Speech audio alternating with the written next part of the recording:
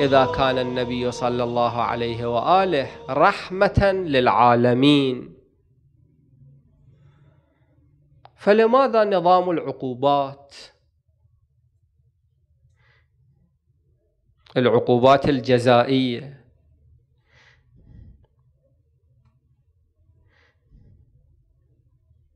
قاطع يد السارق هذه رحمة. نجيب بإجابة واحدة مختصرة على السؤال الثاني. كل قانون يحتاج إلى ضمانه اجرائيه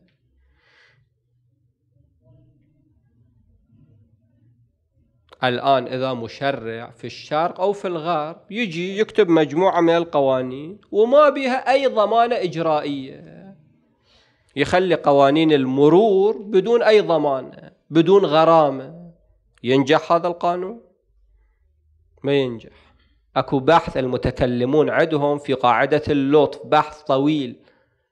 يقولون الآن بعباراتنا هم يستخدمون عبارات ثانية أن محركية القانون بالوعد والوعيد.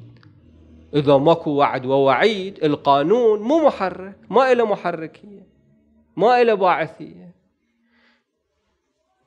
فإذا فرضنا في ظل هذا النظام وجد قاتل في المحلة.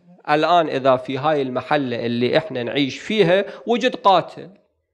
وما إلى أي عذر. نخليها الشكل. الغرب الآن يخليها الشكل. بعد واحد ما يتمكن ينام. إذا وجد والعياذ بالله معتدي على الأعراض في المحل والقانون يتركه بعد واحد يتمكن ينام بالليل في بيته ما يتمكن. لابد أن يكون هنالك قانون العقوبات. فإذا قانون العقوبات رحمة للمجتمع. هذا باب التزاحم. بين مصلحة الفرد ومصلحة المجتمع.